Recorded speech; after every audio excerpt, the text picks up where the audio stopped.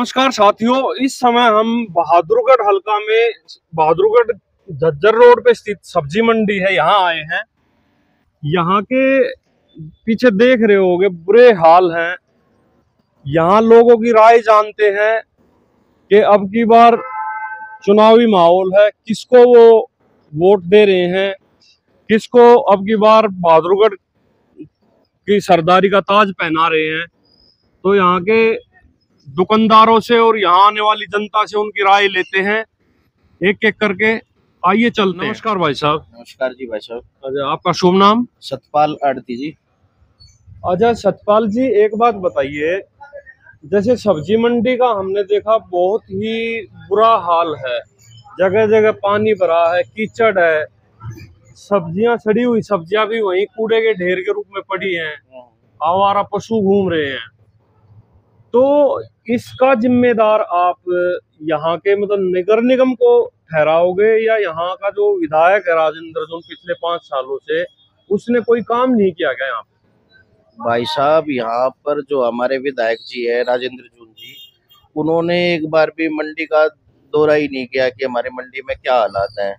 और जो हमारी मार्केट कमेटी है, उनके द्वारा जो भी हमारी एसडीएम के द्वारा सफ़ाई होती है वो तो नॉर्मल हो जाती है। पर ऊपर से जो अगर विधायक जी इस पे थोड़ा सा देखें कि इसकी सफ़ाई क्या क्या कमी है हमारे में मंडी के अंदर वो सुधर जाए। अच्छा भाई साहब जैसे हमने कल राजेंद्र जोन से पूछा था कि झज्जर रोड की बहुत ही बुरी हालत है और आसपास भी इतनी सफ़ाई नहीं जैसे किसान बैठे थे उनके भी रोडों के अब तक गड्ढे भी फील नहीं किए हैं। तो उन्होंने दुआई दी कि भाई मैं विधानसभा में आवाज़ उठाता हूँ लेकिन ऊपर सरकार बीजेपी की होने के कारण मेरा बिल पास नहीं हो पाता। तो उनके इन दावों में कहीं ना कहीं कोई सच्चाई देख रहे हो आप? भाई ये सच्चाई तो बिल्कुल है क्योंकि ऊपर बीजेपी सरकार है नीचे कांग्रेस की है।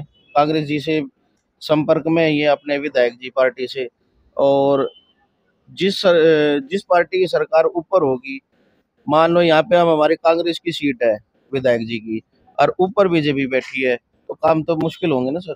तो कहीं ना कहीं फिर राजेंद्र जून के दाव में सच्चाई देगी भाई मैं कोशिश करता हूँ लेकिन ऊपर से बजट मिल नहीं पाता या काम में रुकावट डाल दी जाती तो ये तो फिर इसका मतलब सच कह रहे हैं बिल्कुल सच कह रहे बाकी राजेंद्र जी के राज में ना पाँच साल में ये हुआ कि हमारे यहाँ मंडी में किसी प्रकार की गुंडागर्दी नहीं हुई। अच्छा दूसरा अभी जैसे चुनाव नज़दीक आ गया बिल्कुल पाँच तारीख को पूरे हरियाणा में वोटिंग होगी।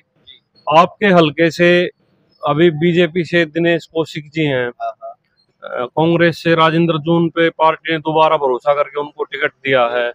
और एक निर्दलीय भी है राजेश जून जी भी। हाँ, तो अब की बार क्षेत्र की जनता का क्या मन है? किसके सर पे अब बहादुरगढ़ की सरदारी का ताज पहनाने जा रहे हैं?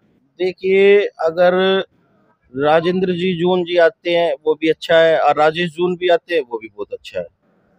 अच्छा मतलब आपका मानना ये है कि अगर राजेश जून या राजेंद्र जून में कोई भी जीतता तो जनता की मतलब इसी में अच्छा रहेगा काम करने वाले नेता तो। अगर दिनेश कौशिक की बजाय अगर नरेश कौशिक को टिकट मिलती ना तो थोड़ा सा समीकरण बदल जाता इलेक्शन का। बाकी आज के हालात देखते हुए या तो राजेंद्र जून या राजेश जो अच्छा कोई भी विधायक अब बहादुरगढ़ का बनता है तो मंडी के सुधार के क्या क्या कार्य आप चाहोगे कि चैनल के माध्यम से बताना चाहोगे कि भाई ये कार्य तो अति आवश्यक और ये होने चाहिए? सबसे पहले तो यहाँ पे ना एक तो सफ़ाई का क्योंकि हमारी सब्ज़ी मंडी में सबसे ज़्यादा गंदगी मंडी में रहती है। जितनी भी सब्ज़ियाँ हैं कीचड़ है एक बार बारिश हो गई तो कई कई दिन तक कीचड़ बना रहता है। दूसरा यहाँ पार्किंग की सुविधा नहीं है पीछे हमारी मंडी में बहुत ज़्यादा स्पेस है। अगर प्रशासन चाहे पार्किंग की फैसिलिटी देते जितने भी बंदे सब्ज़ी लेने आते हैं, वो कहीं पे भी अपनी गाड़ियाँ रोड पे खड़ी कर देते हैं, जिसकी वजह से जाम लगता है बहुत ज़्यादा। दूसरा, जो ये आवारा पशु घूमते हैं हमारी मंडी में, ये बहादुरगढ़ में नंदीशाला भी है गौशाला भी है। अगर उनको वहाँ पे भेज दिया जाए तो यहाँ पे किसी भी इंसान को चोट नहीं लगेगी, क्योंकि जानवर का क्या पता कब किसको चोट मार दो कुमार आरती जी। इनसे भी जानते हैं थोड़ा सा चुनाव चुनावी माहौल है इस समय। तो अंकल जी अभी हरियाणा में चुनावी माहौल गरमाया हुआ है और बहादुरगढ़ हलके में जितने भी प्रत्याशी उठे हुए हैं उनमें से किसका आपको ये लग रहा है कि भाई जीत के आगे आ सकता है? हरियाणा में तो जी कांग्रेस की जीत नज़र आ रही है। लेकिन बहादुरगढ़ में हम सोचते हैं नफे सिंह को न्याय दिलाने के लिए शीला राठी को वोट देनी चाहिए। अच्छा दूसरा मेरा सवाल ये है कि आपको लगता है कि भाई शीला राठी जी के जीतने के बाद जो बहादुरगढ़ सब्ज़ी मंडी के बड़े बुरे हाल है कहीं कीचड़ है कहीं पशु घूम रहे हैं गाड़ी पार्किंग की कोई सुविधा नहीं है इसमें क्या बदलाव करवाना चाहोगे और लगता है वो कर पाएँगे? पहले भी नफे सिंह राठी ने सब्ज़ी मंडी के काफ़ी काम किए और किसी ने तो कभी कोई काम किया ही नहीं। और अगर शीला राठी जीतती तो सब्ज़ी मंडी का समाधान कुछ ना कुछ ज़रूर होगा। आपका शुभ नाम? योगेश कुमार भाई साहब। अच्छा योगेश कुमार जी ये बताइए अभी हरियाणा में चुनावी माहौल है। बहादुरगढ़ हल्के से आप किसको देख रहे हैं? जीतता कौन जीत सकता है? देखो जिसमें मुकाबला सबका। वैसे देखा जाए तो हाथ का निशान ज़्यादा है। अच्छा मतलब मुकाबला बराबर का है लेकिन हाथ को आप मान रहे हो मजबूती से अपना दावा पेश कर रहा है? हिसाब से वो पेश कर रहा है अपना दावा। अच्छा जिस हिसाब से अपना दावा पेश कर रहा है। और एक निर्दलीय भी हमने देखे हैं उनके साथ भी काफ़ी पब्लिक का हुजूम है। राजेश जू ने भी अपनी पूरी ताकत लगा रखी जी। देखो वो भी निकाल सकते हैं।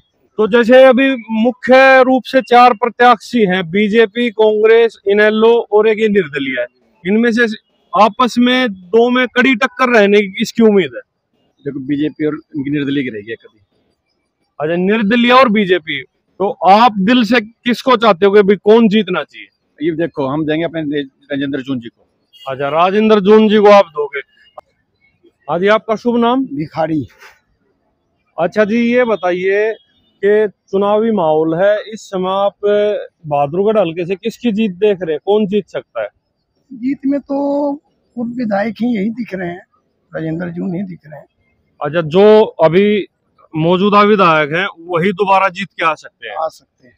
बाकी जो तीन और हैं एक निर्दलीय है एक बीजेपी से हैं एक इनेलो से हैं इनकी जीत की कितनी संभावनाएँ लग रही है? इतनी बड़ी तो निर्णय हम लोग नहीं बता सकते हैं। क्योंकि मंडी में ही हम लोग काम कर रहे हैं इतना तो बाहर भीतर नहीं जाना है। हाँ, इतना अनुभव नहीं है। अच्छा कोई भी विधायक अगर जीत के आता है तो उससे आपकी क्या मांगे रहेंगी? मंडी में या बहादुरगढ़ हल्के में क्या सुधार करना चाहिए उनको? सुधार तो पहले से बहुत कुछ हुआ है। पहले पानी आठ आठ दिन रुकता था मंडी में अब तो दो घंटे में निकल जा रहा है।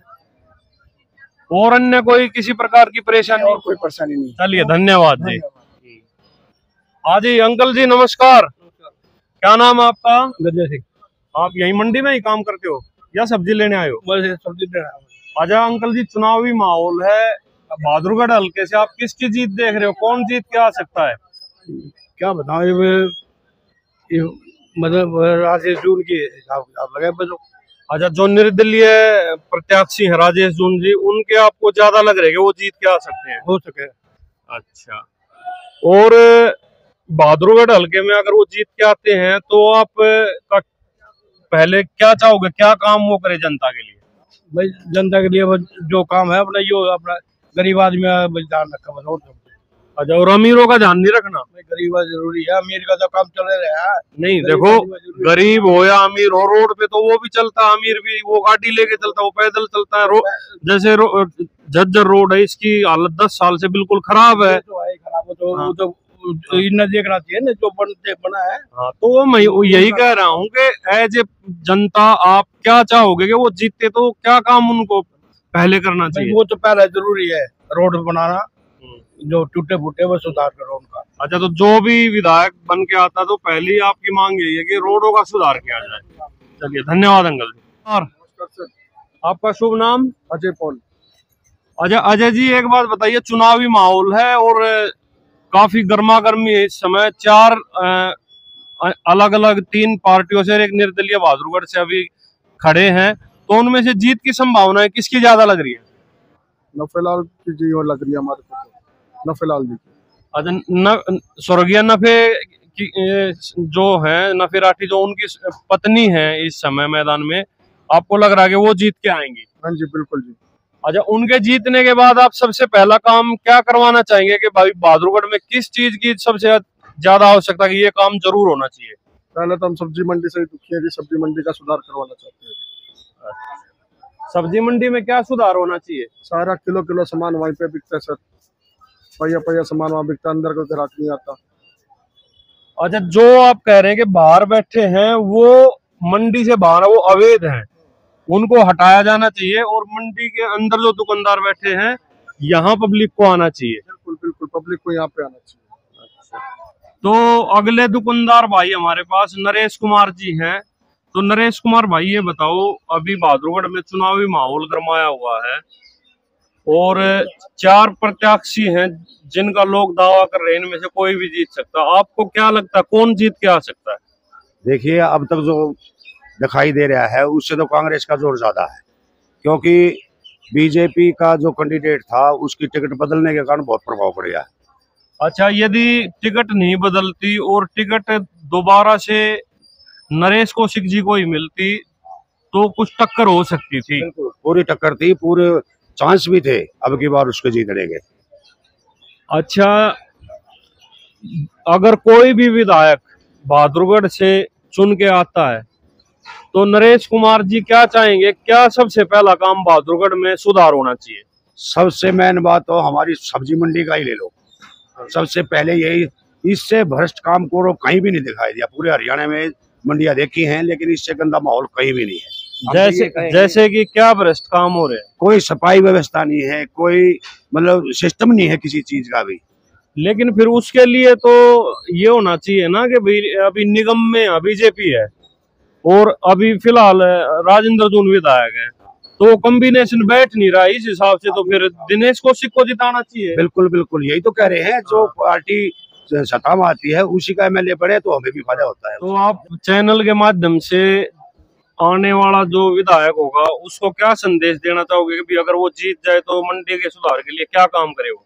हाँ आने वाले विधायक जून साहब ने भी ये वादा किया हमारे लोग वहाँ गए थे दफ्तर में दो तीन बार गए थे उन्होंने वादा भी किया है। अगर हमारी सरकार आएगी तो सबसे पहले नाज मंडी और सब्ज़ी मंडी, इसका सुधार होगा और उससे पहले कोई सुधार नहीं। ये वादा किया उन्होंने चलो जी तो ये थे नरेश भाई, इन्होंने अपनी समस्याएँ भी बताई और विधायक अगर कोई बनता है तो उनसे क्या चाहते हैं? पहला काम वो भी बताया धन्यवाद नरेश जी अब अगले दुकानदार भाई है, इनका भी नाम नरेश है और ये इनसे हम पूछेंगे पहले तो चुनावी माहौल के बारे में कि बहादुरगढ़ में क्या लग रहा है? इनको कौन जीत के आ सकता है? तो नरेश कुमार जी चार प्रत्याशी मैदान में ऐसे खड़े जो दावा कर रहे हैं हम जीत के आ सकते हैं। आपको क्या लगता है कि इन चार में से कौन सबसे ज़्यादा मज़बूत दावेदार है? अगली बार जी सरकार कांग्रेस की आएगी अच्छा हाँ। आपको लग रहा है कि जो कांग्रेस प्रत्याशी राजेंद्र जून जी उनके जीतने के अधिक चांस है? पूरे चांस सुनिए जी हमारी तरफ़ से। अच्छा मंडी में क्या कुछ अभी कमियाँ नज़र आ रही हैं आपको? जिनको आप सोच रहे होगे, भाई, विधायक बनने के बाद सबसे पहले मंडी की ये ये कमियाँ हैं और वो दूर करे। ऐसा जी, मंडी की सो ये हालत है, ये कोरोना के बाद में मंडी की हालत बिल्कुल खराब हो चुकी है। पहले ये कोरोना में लोगों ने कोरोना में मरे लोग कुछ यहाँ परेशान रहे अब ये जो अगला साइड है, वो साइड है जमींदार किसान का। किसान अपना सामान लाए वहाँ बेचे। वो साइड आड़ती और मार्केट कमेटी मिलकर वो सारी जगह किराए पर दे दी है। वो बाहर के आदमी जाकर वो अपनी जगह पर बैठा दिए उनकी जगह है साइड भी अपना सामान बेचने की। वो अपना दुकान छोड़कर बीच का रास्ता और जमींदार का जो साइड है वहाँ पर खुली सब्ज़ियाँ बेचते हैं। हम किराया वे लेकर वे खाते हैं हम लोग जी गवर्नमेंट को किराया देते हैं। सन आठ से किराया देने लगे थे पंद्रह सौ रुपया हर में साढ़े तीन लाख रुपए फ़ीस जाती है हमारी। तो ये जो हालात आप बता रहे हो हाँ जी। इन हालातों को लेके मंडी के में जैसे मतलब प्रधान भी होंगे हाँ संस्था भी होगी हाँ तो वो ये अपना मतलब किसी ना किसी के आगे जैसे विधायक उनके आगे अपना ये दुखड़ा तो किसी के आगे बोला ही होगा। ऐसा जी हमने को दस दिन पहले अप्लीकेशन कोर्ट में लेकर आए थे डी एप्लीकेशन उन्होंने कहा कि मेरे पास बहुत दिन टाइम नहीं है मैं उससे बात कर लूँगा। उन्होंने मैडम से बात की होगी। मैडम ने हम बुला दिए अभी तुम आ जाओ। हम वहाँ पर चले गए, आठ दस आदमी जो प्रधान थे मिलने के वहाँ हमारे को बताया भी, ये करो, ये अपनी गाय के हम अपनी गाय के हमारा फैसला नहीं हुआ। हम उठ के बाहर गए। इनमें से एक दो आरती जो जा रहे थे, वो जो किराए पर बैठा रहे थे, उनमें से एक दो ना भर के दे भी मैं अपनी जगह पर किराए पर नहीं बैठाऊँगा। और भी किसी आड़ती ने कोई अमल नहीं किया। मैडम ने हमारे को अप्लीकेशन भेज दी। अब अच्छा फैसला नहीं कर दिया कोई नहीं भेज सका। उन्होंने भेज दी, हमने साइन कर दिए। अभी मंडी का काम सुधार हो गया। पर कोई कार्रवाई नहीं हुई थी अब जी ऐसा है कल या परसों फिर अप्लीकेशन लेकर फिर मार्केट कमेटी देगा और डीसी हो जाएँगे और फिर हम अभी टाइम बताएँगे उस दिन से हड़ताल पर बैठ जाएँगे। तो अगर आप सब कुछ ये सोच रहे हो कि डीसी साहब ही कर देंगे तो फिर विधायक से तो काम करवाना है उनसे बोलने का फिर क्या फ़ायदा? ऐसा है जी हमें हड़ताल करिए तो पहले डीसी को पेश वहाँ अप्लीकेशन देनी पड़ेगी हमें। हम अपनी मर्ज़ी हड़ताल नहीं कर सकते। मार्केट कमेटी में देकर पास करवा लें। जी हमारा चार दिन के अंदर काम हो गया ठीक है नहीं, हम लोग हड़ताल पर बैठ जाएँगे। हमारी भूखी मरने की लोग बता रही जी। साठ किलो तोरी लिया था ये धरे बैठा और न तीन साल पहले चार सौ किलो लिया था बेच दिया थे और ये लोग आगे इतने बढ़ा दिए गए हैं ग्राहक हमारे पास पीछे आता नहीं है। तो भाई बहादुरगढ़ सब्ज़ी मंडी से ये थे हमारे साथ भाई नरेश कुमार। और भाई नरेश कुमार के साथ जितने भी दुकानदारों से हमने बात की, उन सब की एक ही मांग, एक ही डिमांड है कि जो यहाँ आगे वो तीन सेट डली हुई है, वो केवल किसानों की वहाँ सब्ज़ी लाके अपना मतलब बेच सकते हैं। कोई अवैध दुकानदार वहाँ बैठ के नहीं बेच सकता। वो सिस्टम वहाँ से ये खत्म करवाना चाहते हैं।